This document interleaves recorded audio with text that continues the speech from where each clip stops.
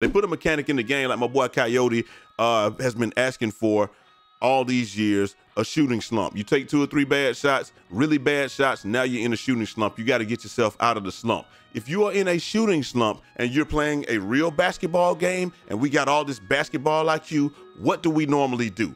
The coach will call you a backdoor or a really easy play, get him a layup, let him see the ball go in the rim. Once he does that, then he'll be back switched on and we can get that.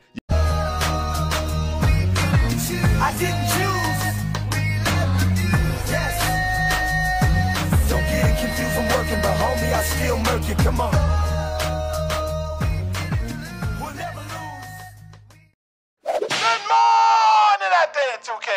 Man, check this out, man. Full transparency. We starting off the video the same way that we start off every video, showing y'all what do we do last year, what you guys did, because I didn't do anything, but you guys make all this possible. 700 likes got us 10,000 views, and we got 136 comments, man. You guys are the absolute best. The views are up.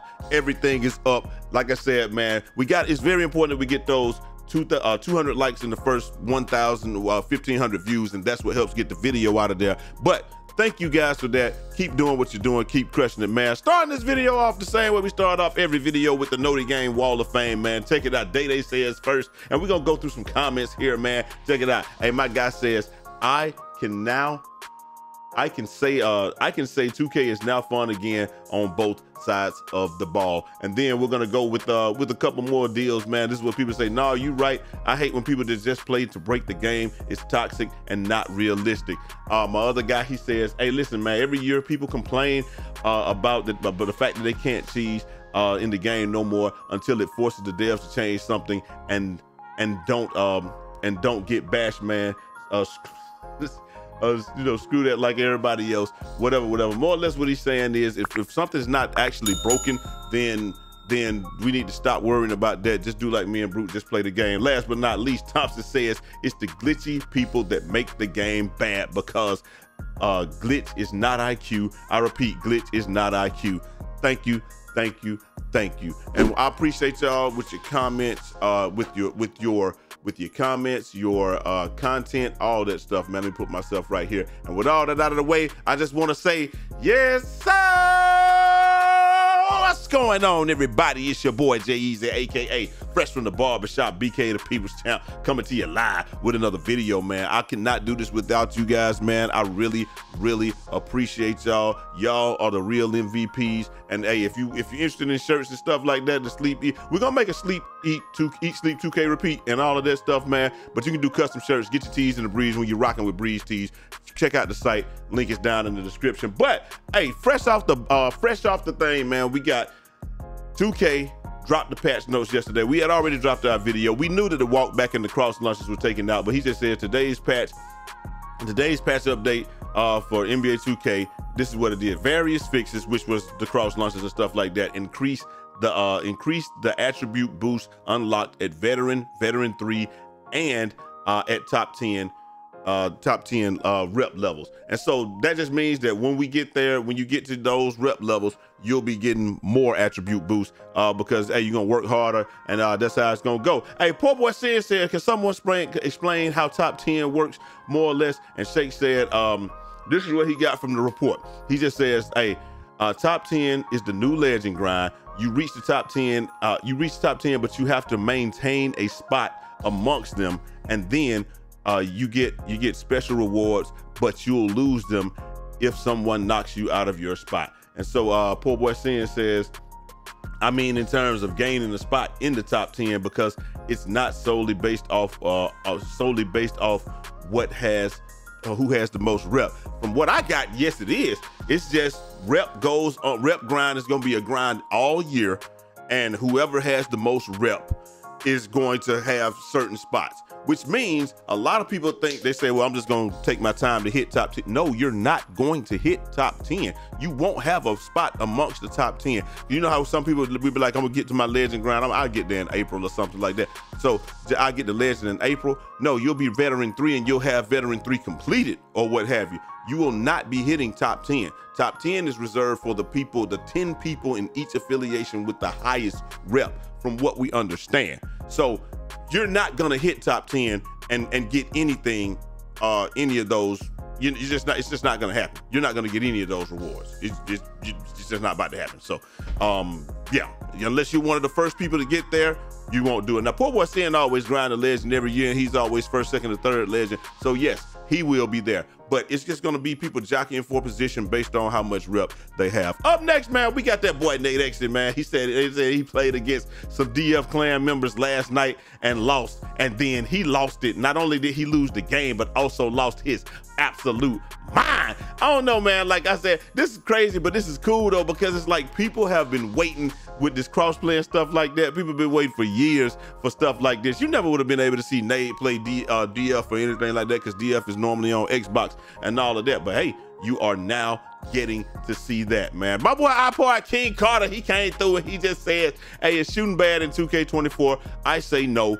Uh, a lot of people say yes. We almost split down the middle in the community, 70, uh, 7,200 people. Uh, so that's a good sample size right there, man. The biggest thing with the whole thing is that people don't understand how shooting works. And uh, a lot of people don't don't don't understand what the shooting slump does. If you make bad shots, you take bad shots. We're gonna we're gonna explain it in a second. But if you take bad shots, man, uh, you're gonna get into a shooting slump. You're gonna feel like you can't hit anything. But check it out. Hey, um, leaks and intel says don't let those uh, Twitter pics or uh, Twitter joints bring you down. Most people can't shoot. Uh, it's not just you. And what he's talking about is you got people like uh Versetti, and you know this is gonna get patched. This is an all 2K21 though. You could do this when you didn't have take anything like that. They had Mo Buckets doing stuff like this, man. Like hitting from behind half court is insane. Ain't no, you know they're not gonna leave that like that all year. Look, this dude takes the shot. He's cold. Obviously, he's not gonna hit it. But look at what Versetti does right here. So, so he's gonna take the shot. He's just dancing. He gets the ball, and then he's just gonna dribble up, and then he just pulls it and it goes in like he hit that. You, we, we know that that's something that's absolutely not going to remain in the game, bro. But it is, it does. It's cool to see those stuff like that, man. But you know, it is what it is, man. Also, you got uh, they, they say uh, Kai couldn't what Fanta can't miss. They just shooting everything like that. Pull up, Dre. These are regular shots, though. I ain't got no problem with these like this. That, that's that, that's that's no. I, I got literally no issue with these. Like, of course he can't miss. He's, he's shooting regular shots. Now that's a big one right there cap, my boy. Hey, it is what it is. You lose to something like that, man. Somebody that's actually out there cooking and hitting.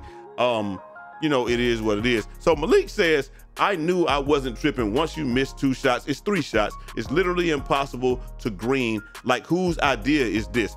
This is the thing that this is the thing that uh bothers me the most about the 2K community we say we got so much IQ, we tout IQ. I got IQ. I can do this. I can do that. I'm I'm smarter than an average bear, if you will, or what have you. But we can't navigate ourselves through a little shooting slump. They put a mechanic in the game like my boy Coyote uh, has been asking for all these years a shooting slump. You take two or three bad shots, really bad shots, now you're in a shooting slump. You got to get yourself out of the slump. If you are in a shooting slump and you're playing a real basketball game and we got all this basketball IQ, what do we normally do? The coach will call you a backdoor or a really easy play. Get him a layup. Let him see the ball go in the rim. Once he does that, then he'll be back switched on and we can get that. You have to do the same exact thing with the shooting slump. You go into a shooting slump, you don't shoot your way out of a shooting slump by shooting threes. You got to get a midi or you're going to have to go get yourself a layup or you're going to have to get something closer to the rim that's a high percentage shot. Get yourself a dunk or a high percentage shot and you'll be just fine. But like I said, I, am not surprised that we can't figure this out in the 2K community because we don't have uh, IQ. Uh, my boy Stacks, he says, hey man, park is incredibly slow or delayed, whichever one uh, something needs to be done. I have not experienced that, but I have experienced some sometimes um, uh, what one dude says, does it chop like crazy? The twos courts uh, and the and the hover. He says, uh, I play at Rise, but yeah, the park is getting crazy chop. Yeah, you'll get chops. I think that that's that is that is uh, the chopping, the choppiness. I think it comes from the shadows. They'll be able to fix that pretty soon, man. I'll tell. I'm gonna hit Mike up about it and, and just let him know. Hey, Quavo says, hey, people that were trash last year, they are good this year. Y'all better get right. And you right about that, man. It is what it is. Hey, this is what Splashy says. Shooting slump to your fly player if you miss your third shot. That's what it is, bro. Like I'm telling you, me and T switched on all day, shooting, shooting, shooting. And then, like I said, I finally figured it out last night. I was playing with Brute, and um, I was playing with Brute, And uh, that's what happened. I went into a shooting slump, got me a midi, and I was good to go. Breaker actually talks about the shooting slump. He says, I put the bar on to see what if I was doing, uh, with, if I was just doing terrible timings. He, he speaks French, so that's what it is. Uh, he said, if I was doing terrible timings, and then I saw that uh, more or less, he said, I got a 92 three ball on the bill. I got all my hot zones. I got blinders uh, on gold, Agent threes on silvers, dead eye, and all of that. And it's just full bars. And you see him right here. He's taking full bars. All these shots are contested too, though. So I don't know if these are the best example of it. But he's saying, you know, he's in a shooting slump, and and, and it says bad shot selection. So like, like I, I, I don't know what I don't know what they want me to tell you on that one, man. It, like if it says bad, if it says bad shot selection, or something like that, I don't think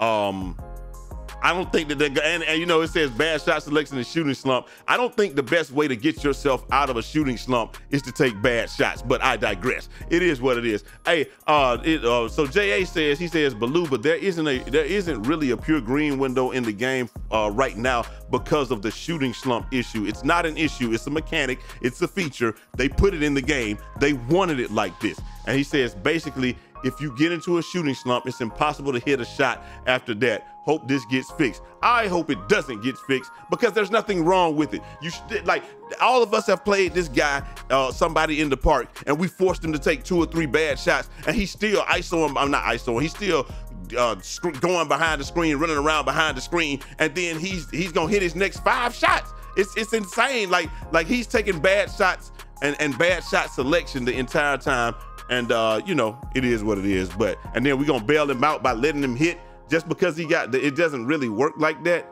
But I get what you're saying. But hey, it is what it is. I don't think it's an issue. I think this we just need to play smarter and use some of all the IQ that we said we got. Um, let me see. This is the power of a of a of a 99 three ball right here from JA, man. Look at this right here. He pulling up, pull up drank. Now, like I said, hey, if they don't want to fix that, that's fine. Y'all want to say, you know, because of the shooting slump, it is what it is. Uh, but one of them is a mechanic. I think one of them just got left in the game uh, by mistake, it, and it's all good. Chrissy T says these shooting slumps hit harder than Mike Tyson in his prime. I'm telling you, man, the shooting slumps hit hard, but it's not hard to get out. All you got to do is go take a layup, bro. I don't get what it is, but the our community, we don't want to take no layups. Brute has said he has never seen shooting slump. Why? Because he gets on that rim Oh, rim, rim, oh, rim, That's what he does, man. So he, he don't never see a shooting slump, but we do. Hey, we say that shooting slump gonna make dudes break control. Let's thinking they really missing, they miss time in the shot when you're not. The shooting slump just beating you down. And that's what it is, man. I can't get mad at it, man. Hey, but then you got Swante, like we said, we got the other time, we got this unlimited range. Trays up. Splash down. They shooting from half court, man. It is what it is, man. But all I want to know is what do you guys think? And then last but not least, Miami pulling pulling from deep. It is what it is, man. Like I said, we can't be, it's, it's, it's so one-sided. You can see that we wanted to be one-sided. We wanted to be straight offensive. We don't care about defense. We don't care about making bad decisions. I've made bad decisions after bad decision after bad decision, and, and we're still, I still should be able to hit shots. They even put a badge in the game called open looks. So that should have told you that we are now going to start quantifying the quality of the shot that you take, and there will be some consequence for you not taking open shots, right? You, we should have thought that. We start quantifying it, and we knew that they were gonna use it in some way. And as soon as we saw shooting slump, we should have known that was the case. So you can't take three, four, five contested shots and then take one open shot and then think it doesn't do something to your mental. You're gonna have to go to the rim, get you a layup, and, um, and, you know, just see the ball go in the hole real quick, man, and you're gonna be fine.